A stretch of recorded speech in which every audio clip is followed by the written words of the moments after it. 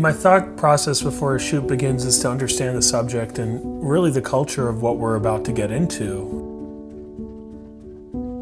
It sounds weird to say, but it's very much about studying who or what the subject is.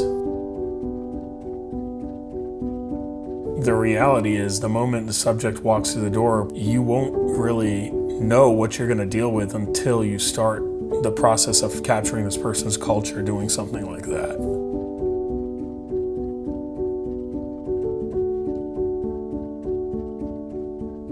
For me, a camera is a vessel that allows me to capture a moment or capture a feeling or capture something that could be looked at down the road and tell a story.